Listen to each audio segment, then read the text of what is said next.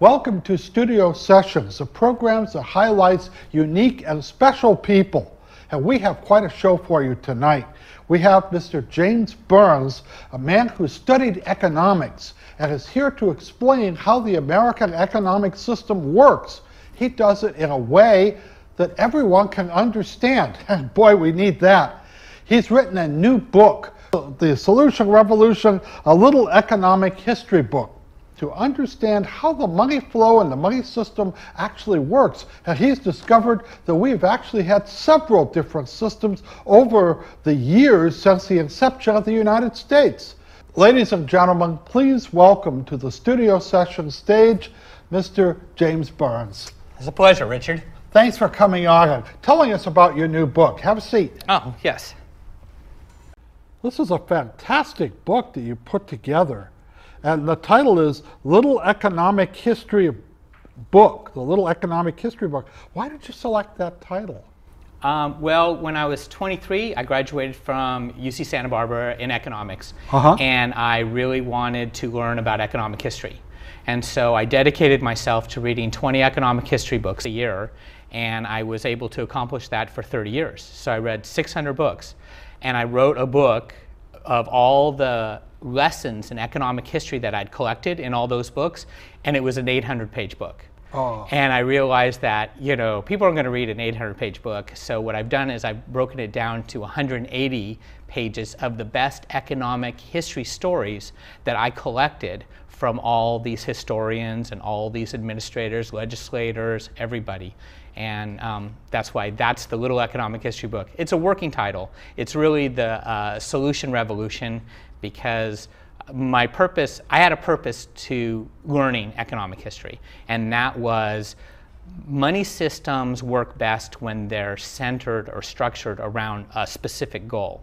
So like if you have agricultural society, you have a money system that promotes agriculture. If you go into industrialization, you have a money system that promotes industrialization. And when you go to war, you have an economy that financially mobilizes for the success of the war. So I know, so that is like a subtitle, the Right. solution revolution. Now, a solution, what does that mean? Are, are we going to go to the barricades with flags and guns and stuff?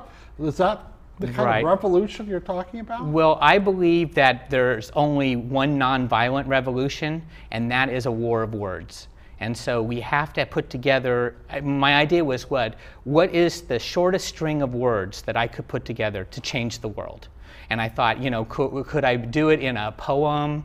Could it be a paragraph? Well, this is my opportunity here to put together the shortest string of words. It's uh, what I call precise and concise. And every chapter is less than three pages because I realized that a person isn't going to sit there. If I'm going to introduce that many thoughts, I better keep it short.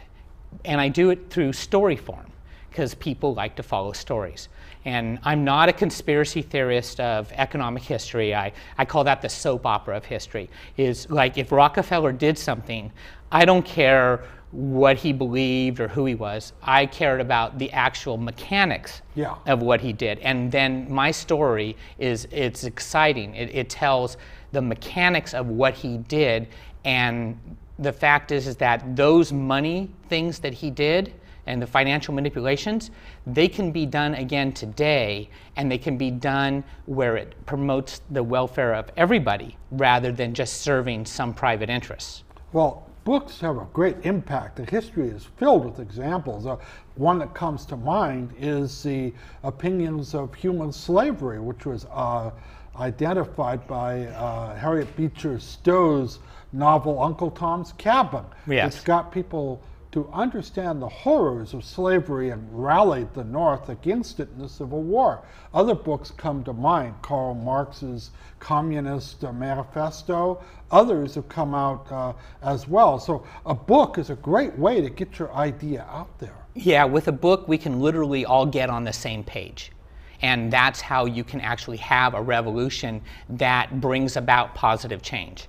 And it's the mechanics is that money is the most powerful social tool, tool Yes. in existence. And it's through the money system that we coordinate our individual activities to produce something greater than ourselves. And so I looked at it and I thought, you know, uh, Joseph Campbell said, if you want to change the world, change the metaphor. Well, at a period of time when people um, acted, the, what what controlled the way they conducted themselves in their life was their belief system, like their religion. Well, today, what conducts the way you um, behave in your life is your money, how much opportunity, the job, what you do with your time. I always say that time is all we have to spend. That's why they pay you per hour. So the thing is, is that with money directs your time. So my but idea. My question is, in our modern society, who reads anymore? Most people watch videos or uh, see uh, things on Facebook. They're not really interested right. in a book and, or a volume. Do you have any way that you can get your ideas out through uh, the, the internet or through the social media? Well, in marketing, but I mean, that's why we're talking here today. I mean, when Socrates in his time, you know, he didn't believe in the alphabet. He didn't like the written word. He thought that ethics should be taught orally and yeah. history should be conveyed orally. So it wasn't until Plato to write down everything that Socrates said, and it wasn't until Aristotle that said, hey, this written word, this new medium is going to be what has to convey the wisdom of the past. Well, now we're living in an audio visual world, and yeah. so the written word is being displaced. And just as there was a lot of wisdom from oral history that was never put down in books, a lot of book wisdom is never going to make it to audiovisual yeah. history, right? Well, um, th- that was my thing. Reading the 400 to 600 books that I read is that I make it so you don't have to read those 600 books. You can read my book, and mine's what I call the greatest hits in thought see, is that what somebody has to go through, and it's, it's actually an intergenerational responsibility for us to dedicate ourselves to condense down the wisdom that is in books into the modern day, into the modern medium. So here I am talking to you in an audiovisual world to reach the greater audience. Even if you don't read my book, then you can have watch me tell the story. So this is sort of like a reader's digest of economic thought, economic theory. And of course, the, the subtitle or your, your title is A Solution Revolution. Now, what is a solution? Well, first, before we describe that, what's the problem? What is the problem we have in today's society, our economic society? I would say that we are time conscious in the wrong way. Is that what we don't realize is that forethought is what separates us supposedly from the beast is that we can think ahead and mm-hmm. we're not thinking ahead far enough is that uh, the way the economic system is structured right now is that it may well bring a premature end to humanity so we've got to take a longer view of like what are our activities. Like I'm working today to feed my family, to put a roof over my head. But the thing is, is I should be working today to make sure that my great, great, great, great grandchildren can feed their family, put a roof over the head. So those are the boundaries of my behavior to perpetuate the species. Ultimately, perpetuating the species is the expression of the will to survive. See, what happens is if their money system has a goal, then everybody works together to accomplish that goal, and money is the means to that goal. Yeah. But when there is no social goal, then money becomes an ends in itself. And when money is an ends in itself, every community ties deteriorate as everyone starts to see each other as competitors for the existing wealth in the world. We can pick a new goal and we can work together to create something greater than ourselves. And the new goal is the restoration of the planet. And I'm saying that the Industrial Revolution, the environmental destruction of the Industrial Revolution, the bill has come due, and we have to pay it. We declare a war of environmental restoration, and we take the financial and legislative precedent set by World War II. There was a time when all of a sudden we realized we had to go to war in Europe and we had to stop fascism. And so we work together to accomplish that goal, and we did, and we did it using our money system. Um, John Maynard Keynes had written a book in 1939 called How to Pay for the War. Okay, now we right now have a threat as great as Hitler. It's called really? environmental destruction, yes. And we have to restore uh, habitat, we have to clean water, we have to clean the air. And my idea is that we need a major jobs program.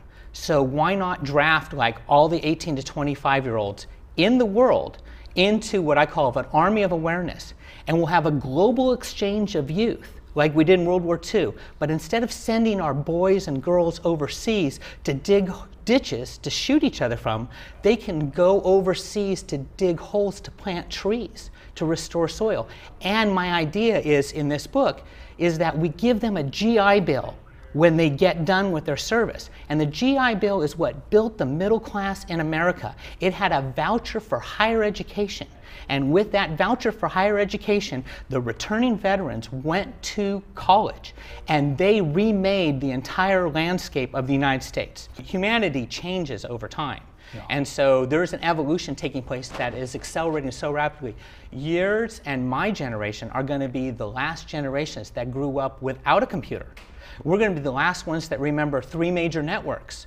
We're going to be the last ones who, like, if you didn't see the last episode of whatever major show there was that season, you wouldn't be able to talk to anybody for a month. That's true. Okay, nowadays everybody's consuming their own media. They have their own choices. But we have to find some common ground. And like you said, is that people can rally around a book. Because a book is something everybody can keep coming back to to reread it and get back on the same page. And we all know that when you read a book, a week later, two weeks later, you kind of digest it and start repeating it, whether you believe it or not. So, but when we watch a TV show, it kind of just glances off of it. It doesn't go as deep, you know. And that's why, you know, this is this is also oral history. I'm, I'm speaking, so at least people are getting it coming through from my mouth to their ears, and then. Um, but any environmental change, which you're talking about, ha would have to be a world thing. It couldn't Correct. be done by just one country or even a group of countries. Correct. Like Europe and the United States, Canada. It'd have to be something that the whole world would embrace. And I think the geopolitical structure is I don't know if people would be able to work together, even in their own best interest. Right, but that's very parallel to like saying that the Berlin Wall will never come down. You know, you could just say it'll never happen. It's it's a forever thing. The truth is, is things are changing quickly, and it's true. Right, and what we need is a major jobs program and we have to change the value system is that you can't have it where you pursue a lifestyle that puts the future in jeopardy. What about robots? Uh, in fact, many say that in the future, robots will do all the work that people do today as manual labor. Right, but just because a machine can do something doesn't mean it should. If people find fulfillment and personal development through an occupation, then they should be able to pursue that. We have to realize that human beings are not an input to the productive process. We're the product. We're our greatest work of art. And so, right now, the economic system likes to look at us and say, wow, the cheaper we can pay a person, then the more profit we can be made and that's what this book is really about is the corporate takeover is corporations brought the world together through trade because they'll always put profits over people. Yes. but corporations make terrible social leaders because they'll always put profits over people. What happened was that corporations started to get powerful enough that they were able to pack the supreme court. And when they packed the supreme court the supreme court birthed a child, which was the corporation, and they want to spoil that child. They want to give the corporation the right to speak. They want to give the corporation the right to bear arms, maybe. Maybe there'll be private armies. They want to give corporations the right to have everything. And the thing is, is that um, the Supreme Court, when they founded it, they didn't think it was going to be a very strong institution. They thought it would be the weakest branch of government. And they said the weaker the power, the longer the term. So they gave them life appointments because they weren't going to be very strong. And so when John Marshall, the first Chief Justice, gave the Supreme Court all that power, their terms should have been limited right there. And that's the whole thing, is that we're living in a world, senators used to not be directly um, elected by the people. And so these things are changeable. The problem is, is that there's a, a challenge to our imagination that people can't imagine the world being any different than it is today. And it can be, and it has been, and it's going to be. This money system that we have right now was put together after World War II to make sure that corporations, US corporations, could go around the world and control all the finite resources. And it was very successful. It accomplished its goal. But we need a new money system. We need a new goal See, when you don't have a goal that the money is built around, then community ties deteriorate because we're not working towards something. Money's not facilitating the success of this greater thing. Money now is uh, creating competition, cutthroat competition between us. So, money is a tool and tools are only as moral as the hand that holds them. Like a hammer can be used to build a house, or a hammer can be used to hit people over the head. Money's the same way. Mm-hmm. Money can be used to, to secure humanity's place on this planet, or money can be used to bring it to an end. Well, I was growing up, I was uh, in the Cold War era. Uh, much of the world, especially the third world, fell to uh, communism which uh, was very attractive to people who didn't have rights, land, or what have you. So that was a competing, different system. Mm-hmm. Yet that system seemed to give very little material wealth to the people it embraced. And later, most of right. them trashed them or junked them. The biggest example today is China which right. is now more corporate than probably the United States. Right. See, in my book, I explain I believe in private property. That's why I feel everyone should have some. Mm-hmm. And so there are different forms of um, capitalism. There's, yeah. uh, there can be a capitalism which is based on private property and markets, market pricing. Mm-hmm. And the thing is, is that a capitalism can be structured so that everyone owns a home but you can also structure capitalism so that only 40% of the population owns a home. And what I'm saying is that if 40% of the population owns some private property and 60% of the population has no private property, then that system does not believe in private property. And what I see is that corporations and wealthy people are going to be able to buy up everything and everyone else is going to be uh, serfdom. So you mean to say that in your way of thinking, the corporations will become larger and larger, the uh, aristocracy of wealth that gets to the point will be something like medieval Europe or 18th century Europe. Right. The corporations but, only succeeded in taking over because they got government favoritism. See, the whole thing is that government isn't the enemy, a government is the prize. That's what Jefferson said. He said, look, the government is the tool of whoever controls it. Now, corporations got control of the government, and then they got, because the government was for sale. And then the media was for sale, and uh, corporations got control of the media. Then the corporations used the media to convince the people that the government was the enemy. And when Reagan got up there and said, government's not the solution, government's the problem, because he's a corporate mouthpiece, he did the United States, Americans, and his base the greatest disservice because only a government can regulate corporations because corporations are the child of government. They're chartered by government. So let, let, me just do let me just explain this one thing. Okay, corporations mm-hmm. do not believe in the Bible. Okay. okay What happened was is that in the 1830s there was a thing called usury. And usury is uh, um, um, when you charge someone a really high interest rate. And the Bible said that that is wrong. And so the corporations went into the courtroom and said, look, we want to charge high interest rates, right? Well, they had to. And they said, we want God to mind his own business and stay out of ours. And corporations threw God and the Bible out of the court system. Okay, so then the people were, because that was common law, that was the way that the, the legal system worked. There was judges the difference between a court of justice and a court of law was that judges used to sit there and determine whether a contract was fair or unfair and judge on it. Corporations got it where judges are only there to enforce the contract that corporations have forced people to sign into, to buy into.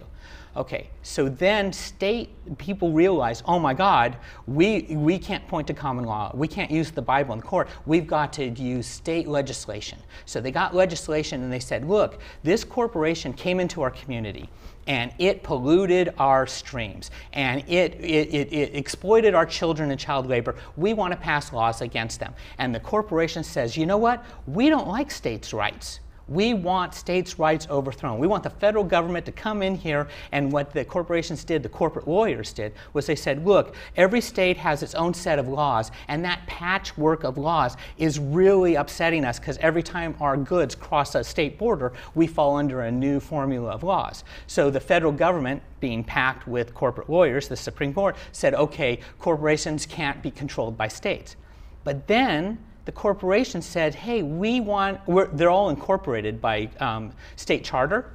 They said, then New Jersey says, hey, we're going to let corporations do all this horrible stuff. And the corporations all moved to New Jersey and they incorporated there and they said no the federal government can't interfere with states rights to let us get away with the exploiting stuff because when i come into your community let's say i move in i'm your neighbor and i start a business in your community you know what i care about? I care about the kids walking to school in front of my business. You know what i care about? I care about the clean water coming to all of our houses. But when a corporation comes into your community they don't have to care about you or your children or anything. They're taking they're taking their, um, their directions from their headquarters a thousand miles away. So only a corporation can come into your community and say, I have no community responsibility here. I don't care about you guys. Well, I'm just here for profits. An example would be Walmart. Mm-hmm. They moved into an area, all the mom and pop shops were driven out of business right. by their low prices and their service, and they could they could hire the marginal people who were not always able to find work, pay them a low wage, and you would have a great system. So how do you stop something like that? It looks like a like a, a dreadnought. You just can't stop something that's that powerful. Well, you know, I mean, this isn't in my book, but I, I use my imagination and I, I try to think of things. And I, I came up with the other day, and, you know, I'll just float this idea here was if a business is got a headquarters outside of your area, it pays double sales tax. It's called a Community Preservation Act. Okay, mm. and so, but if a com- if a business, the person lives in the community who owns that business and owns the land on that business, then they don't have to pay any sales tax at all. And so, what I'm doing is that right now, Walmart comes into a community and they're actually not even paying property taxes. Sometimes they say set off uh, what they call a bidding war. Walmart is in one community, hires 500 people, and it says, We're going to close our Walmart. We're going to move to another place. And that community says, No, no, don't move away from us. We'll give you tax breaks. So then Walmart is actually in a favored position over me, the little guy. So my idea is that like even in Walmart, if they're going to exist in my community, then 30% of their floor space has to go to local artisans. Okay, or open up their parking lot to arts and crafters, handcrafters and stuff like that, so that we, that the art and crafter can be where all the people are congregating to do their shopping. But if they they keep you know they congregate everybody in that store and no one else has a chance at those people. And now we've got a problem with Amazon. People are ordering online and stuff. I mean, there, there's some major changes taking place, whether they're legislated or dictated or whatever like that. But what we have to do is like, what's our goal? What about um, you're using taxes as a cudgel to uh, employ or, be part of social change? Right. Uh, and people have done that in the past, such as sin taxes on cigarettes and other things. But is that really the best way to change people's hearts and minds? Right. Well, the thing is, is like a sin tax and stuff like that. When corporations got control of the media, they convinced the people that the economic system was a moral system. That if you were a moral person who sacrificed all other aspects of your life to working hard, you would be financially successful and secure. And it wasn't true. It, was, it turned out not to be true. It was just pure propaganda. But the thing is, is that the economic structure dictates the terms of the outcome. So I, a free market does not produce a middle class. Are you for or against a middle class? Of course, a middle class is the basis of all of our accomplishments here in the United States. Well, then, uh, middle class is a social construct. You have to pass the tax code. That's how a middle class is created through the tax code. And if you don't believe in a progressive tax code, then you believe in a two class system. You may give lip service to believing in a middle class, but if you don't believe in a, two, in a progressive tax code with marginal tax rates go, uh, bracketed going up higher and higher, because the economic system exists to distribute wealth as broadly as possible. The economic system does not exist to concentrate all the money in the pockets of a few. It seems to be that way, though. I have friends in Mexico where they had a very vibrant middle class. It's almost totally extinct now after just a period of maybe two decades. Well, that's because what they're what I call two classers. There's people who subscribe to a belief that there should be a have and have not society, and they're dynastic. What they believe is that it, all positions, all positions of social power in society should be inherited. They don't believe in a meritocracy. And see, the th- thing is, is that nepotism means fool's rule. Okay, so when you have all these people who inherited their positions, like our current president, like, uh, you know, all these people who never worked for their position at all, is that they were handed it. Okay, they're dynastic.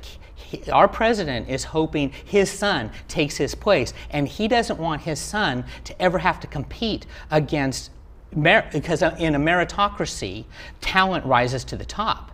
See, but they, if you have a two class system, then you are born into your station and you're stuck there.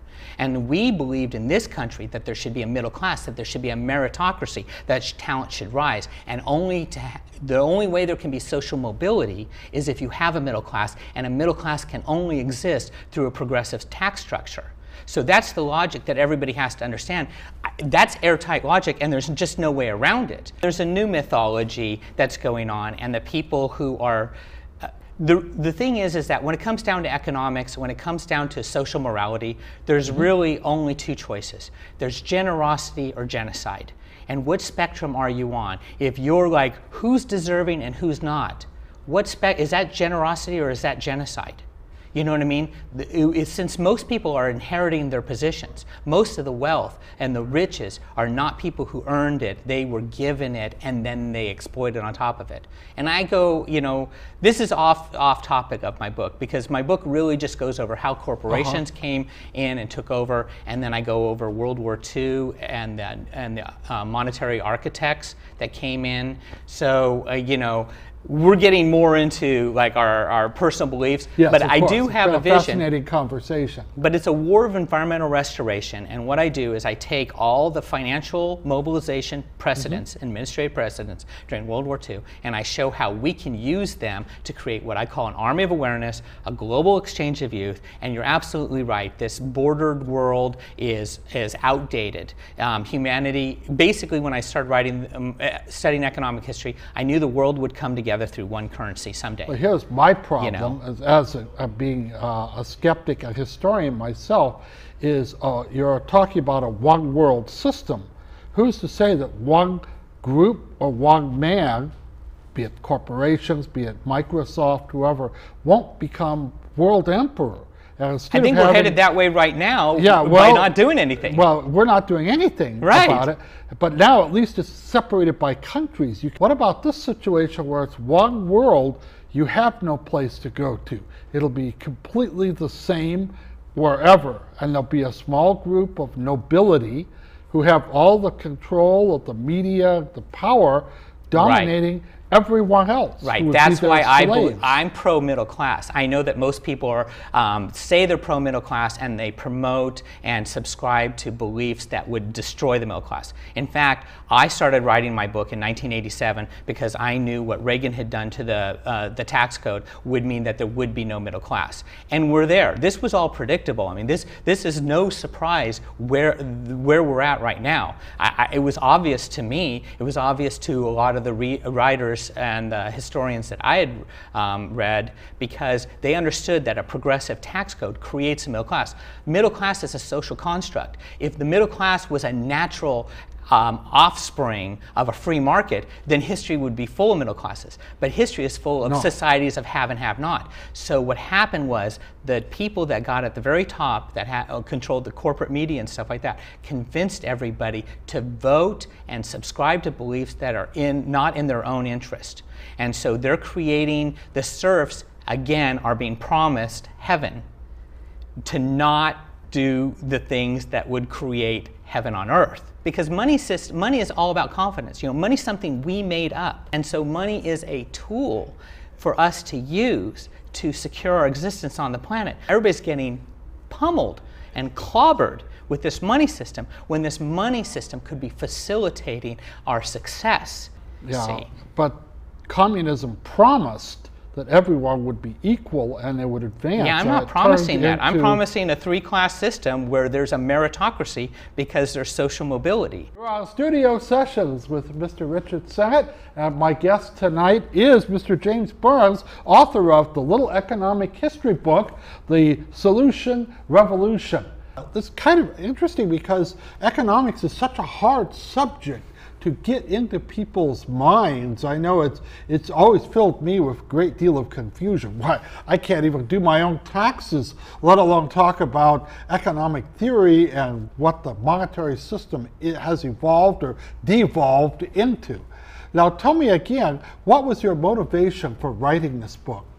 Uh, my motivation for writing the book was that um, I grew up where my father was part of Jerry Brown's environmental team of the 1970s. Uh-huh. And so I really understood that government had a role to play in preserving the environment. And he worked on roadless areas, scenic, uh, wild and scenic rivers, Tahoe Regional Planning Agency, the Delta Board, and he ultimately became chief deputy director of the Coastal Commission.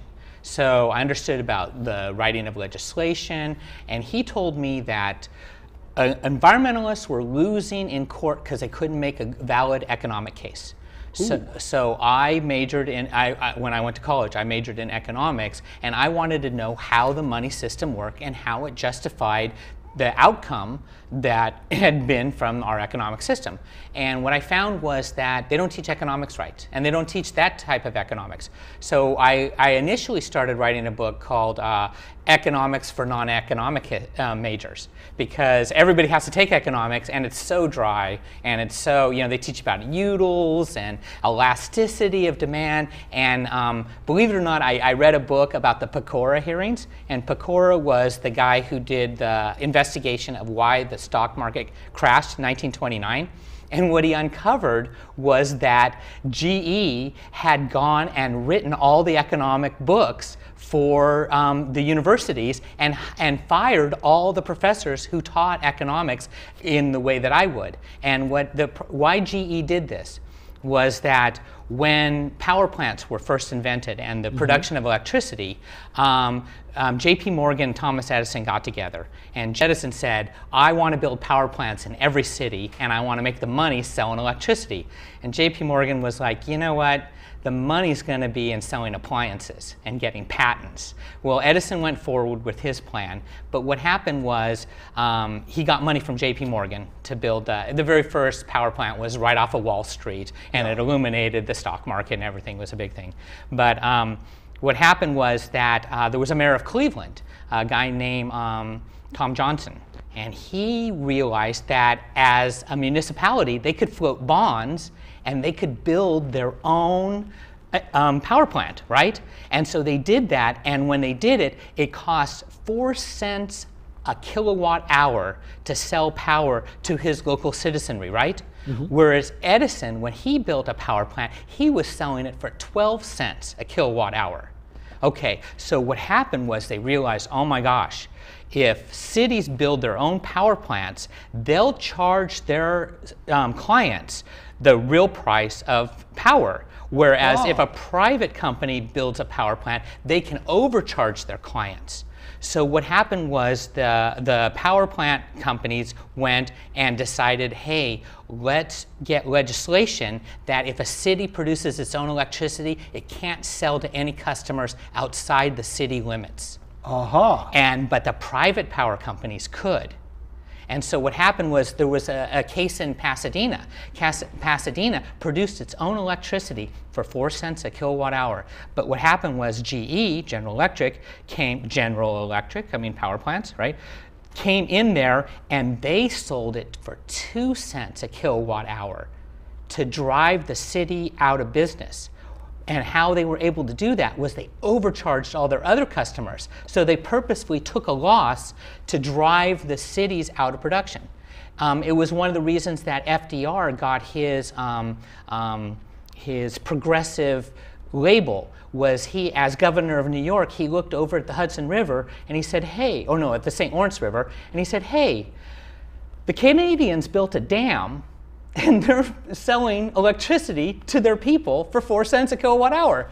And we're getting our electricity for 16 cents a kilowatt hour. What's going on?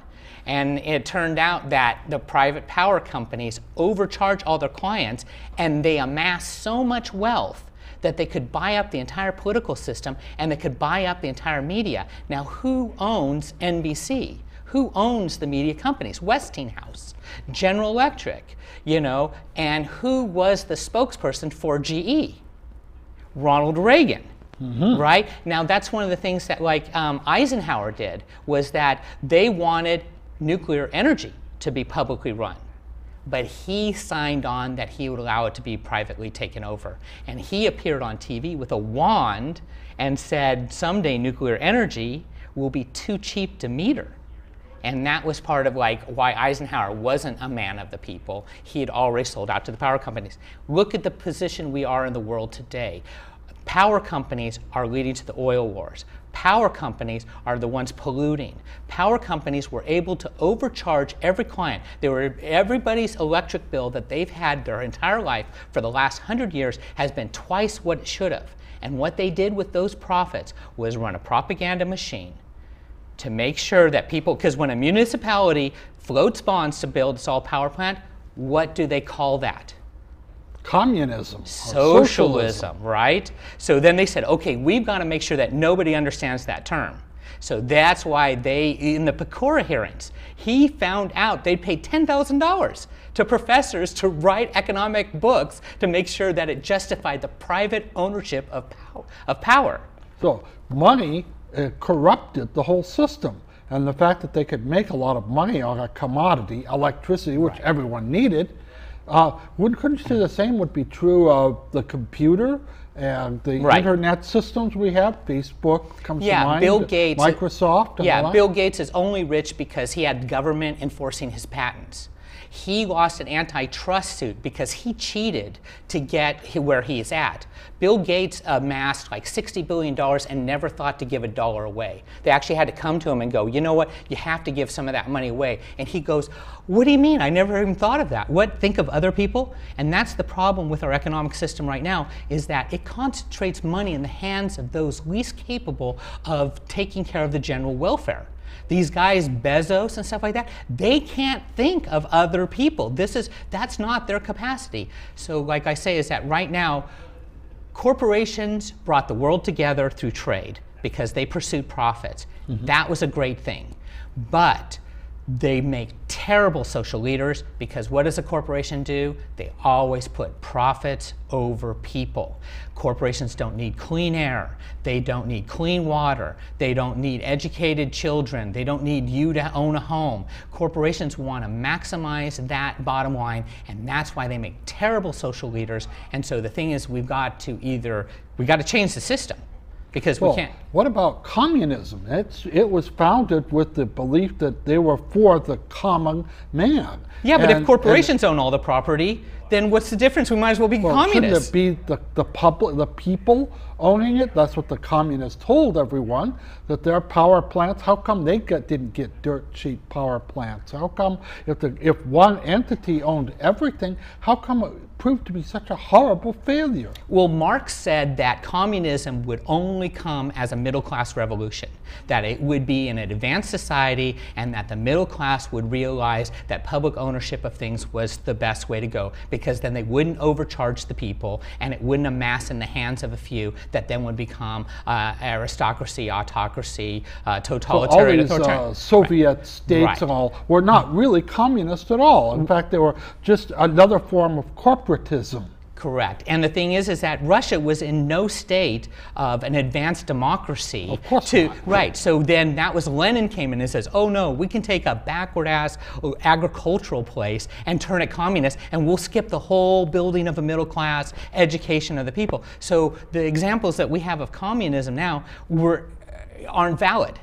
You know, the thing is, is that the, what Marx said, Mar Marx was, he wrote a bunch of stuff. Mm -hmm. You know, they've cherry picked him to make him sound very bad. And you know, he ended up inheriting a bunch of money and just taking time off and being bourgeoisie. I mean, he, it was, he was very bourgeoisie himself. yeah. many in the communist revolution. Yeah, and, and that was the thing is that, you know, people have, they don't understand the terms of social, socialism or communism, and I don't like to use any of those labels because um, there, there's corporations that have amassed so much wealth by overcharging their customers on energy that they were able to confuse the vocabulary so that an honest debate could never take place. Now, you talked about education. It seems to be one of the key to maybe making a system like you're talking about work is through the educational system. Right. But if the corporations fund the universities and fund the books being printed, just as, as you said Edison did uh, with the Depression uh, and what happened there.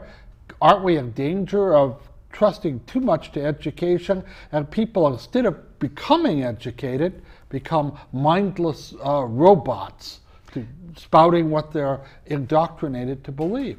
Yeah, and that's always been the problem. And you know, um, what happens is that you have to teach people to think. Okay, like Very you, you have to.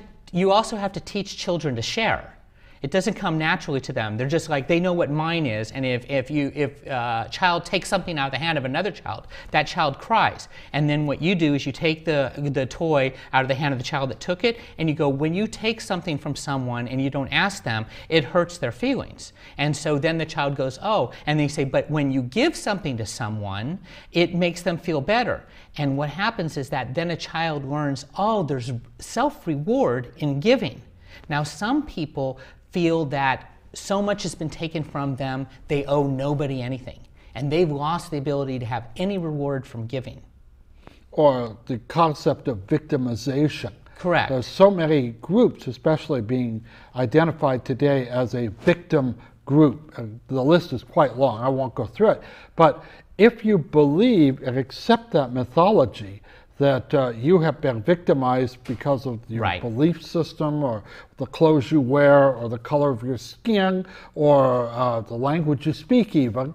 Um, this kind of could, I think, really work on your mind to the point where you think you are you owe it to have things that other people have. And so taking them is justified somehow, even if it means taking a life. Right, but yeah, and, and the thing is, is that you're saying about the victimization is that when people see themselves as victims, they're less generous. Yeah, of course not. See? They, they, the fact they think that they're Right. owed. But something. individually, we have very little, but together we have everything.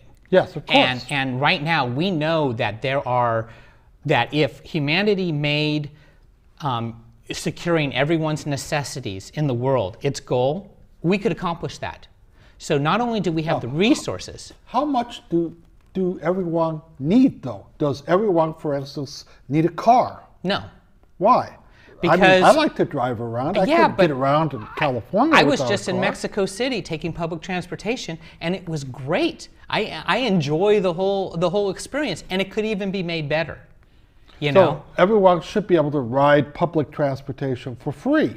Right, but the thing is, is that time is all you have to spend. That's why they pay you mm-hmm. per hour. So the thing is, is right now they've convinced you that your time is to work an 80-hour week for a job that you can't even afford to own a home. Okay, that's where we're headed. That's where your grandchildren are headed. Does your grandson deserve to have a 40-hour week job that he can own a home, retire not in poverty, be taken care of if he's sick, and send his kids to college? And he does deserve that. And one, one time that was possible, and mm-hmm. it's still possible today. Can we go back into back to that particular model that, that made the middle class possible? Right, and that is, yes, very true. And that's why everything I propose in my book mm-hmm. has precedent. I don't invent anything new. I only use the what worked in the past. It's the greatest hits in thought.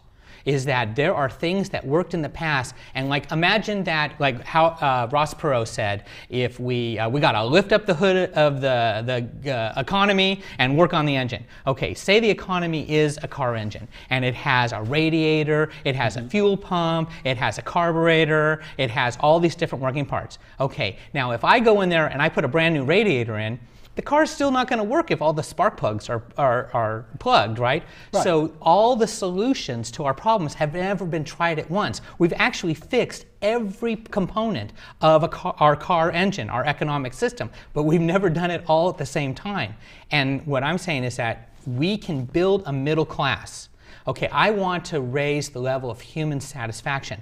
I want to give people more free time. It's our hyper economic activity that's going to bring the planet to an early end.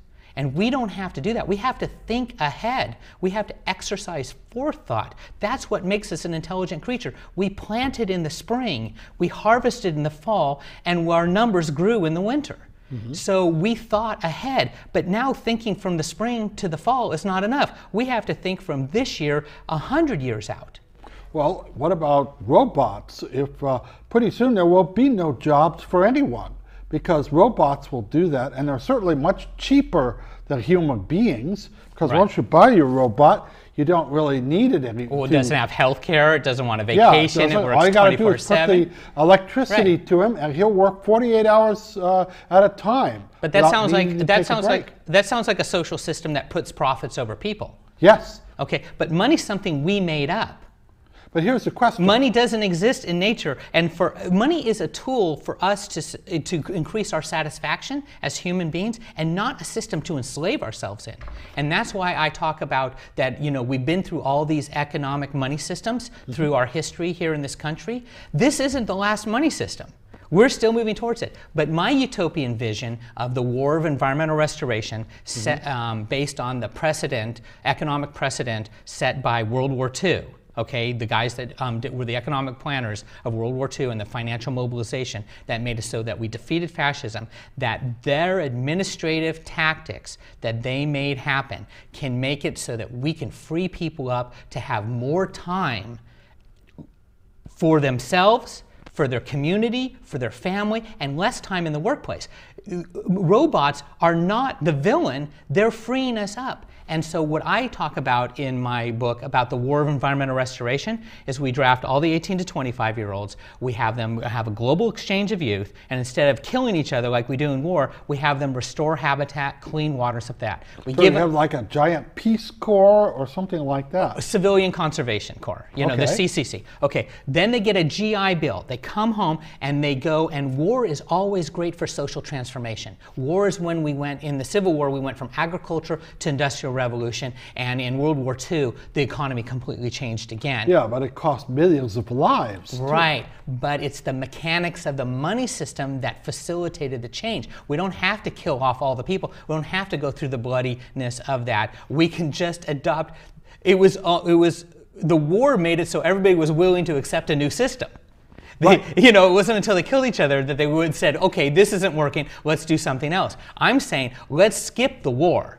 Let's skip the, the violent war and let's just go straight to changing the system. But like, remember the war on poverty that, that Johnson started. It started out we had so many poor people. At the end of the war, we had doubled the number of poor people. Right. We and lost the war. Well, for one thing, the frame of a war on poverty was a bad thing. But the thing is, is that he didn't do it like the GI Bill. The GI Bill was like giving every veteran uh, an inheritance that he would have never gotten from his position in society, right? Mm-hmm. And if and the problem is, is that the the the uh, war on poverty, w- the way it was structured, was really bad. It said, okay, we're not going to give you money money. We're going to make you do this program, and we're going to make you stand in line, and we're going to have people tell you how to do it, and stuff like that. Where the GI Bill just put money in your pocket and said, I have faith that you'll use that money to make your life better. And you know what? The Republicans, the conservatives, leadership was against it. They mm-hmm. were just like these the boys, the veterans are heroes overseas, but they're going to be bums at home. You put money in their pocket, they're just going to sit on the couch.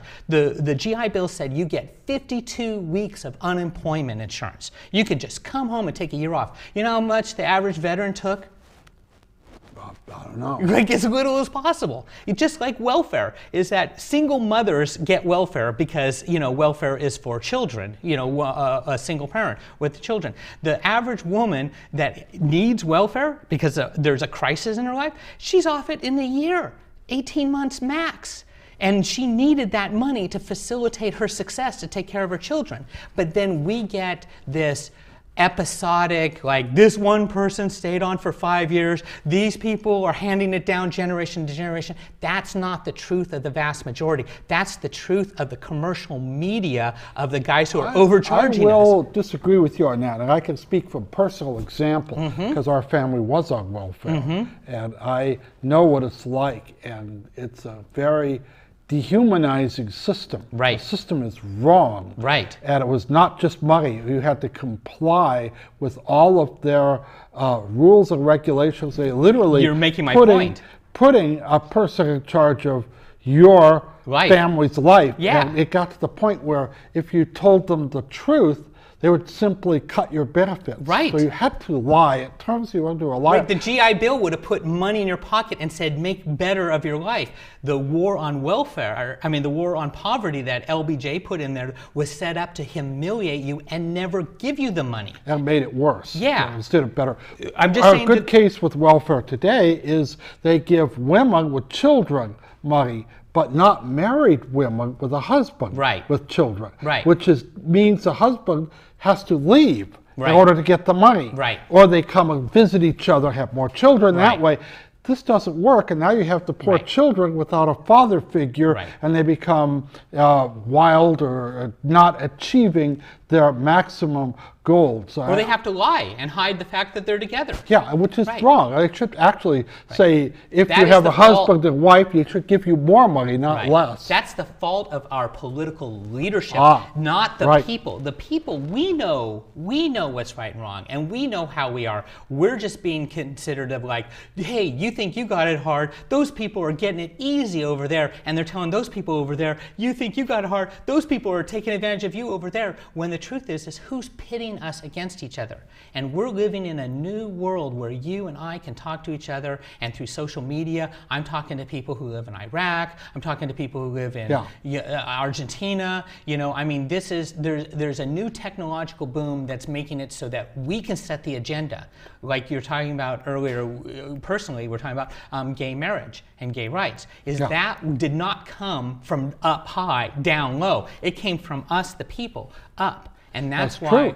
They did everything to stop it, even going so far as to change the Constitution of the state of California. Right. But finally, people realized that it was a bogus argument. And the fact that people love each other, they should be allowed to marry. And all the, the little straw men they put up, oh, it's going to open the door, people will be marrying their cats, or, or they're going to have polygamy, all sorts of different things. All that proved to be vacuous, nothing Yes. there. But they've changed But there's, those people hearts. are still in power and they're still um, pulling the strings and they're still dividing us like that. What I'm saying is like, like let's put our eye on the prize. Is what we want is.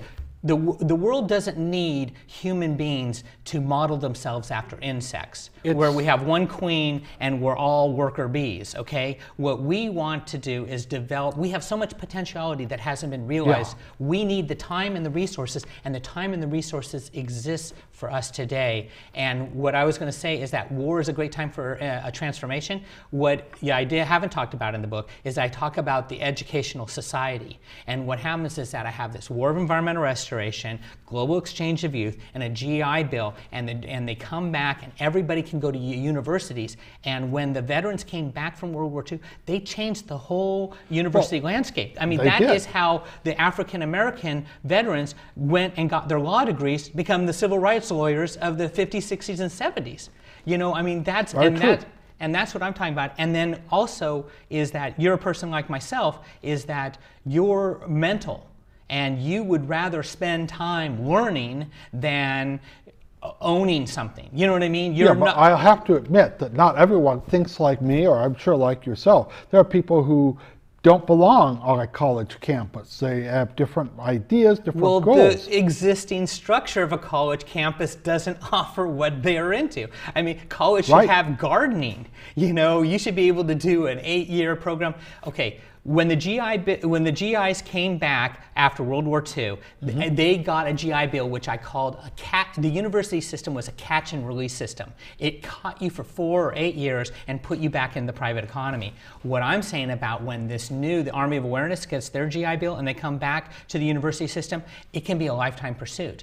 Like you can uh, acknowledge that you don't want much of a material existence, that you want to be mentalistic, not materialistic, and that what you want to do is possess knowledge and the most satisfying thing in life is to be surrounded by people who share your interests. A football pan, fan loves to be in a room with football fans. Uh, uh, a fisherman loves to be in a room with fishermen. And a person who's into economic history loves to be in a room with people who love economic history. The university is the environment that provides that ability where we could all be sitting in classes or whatever structure we use as learning, maybe outside in amphitheaters, of having somebody like just this is just one of the things. In the 1920s they started to excavate all the old cities when um, when people when pedestrian traffic had priority okay? There were no cars and people and what um, my favorite philosopher was a guy named lewis mumford. And he what he did was he said what what was the existing civic equipment that existed back in ancient times. And he showed that the amphitheater was this amazing place where people did plays and heard speakers and stuff like that. And he showed that their dormitories where people slept was a 45 minute walk. And he said the thing was is that it was that walk back to where you're going to sleep that was the most exciting thing because that's where you got to discuss what you just the media you just consumed. Um, the thing is that I believe in a suburban revolution. The suburbs right now are culturally barren. Oh, very much. Because they don't have any civic equipment. But they don't even have people there because people are working all the time. People don't even live in their houses. They just get their mail there and sleep there. But the thing is, is that, you know, it needs museums, it needs gardens. And, and, and the thing is, is that we don't need more stuff. We need more time. And if we have time, we'll cultivate interest in all aspects of life. Is that what does it mean to be a fully developed human being? What Right. does it mean to be psychologically healthy? These are questions that can be answered. But one of the things you mentioned, you were talking about universities.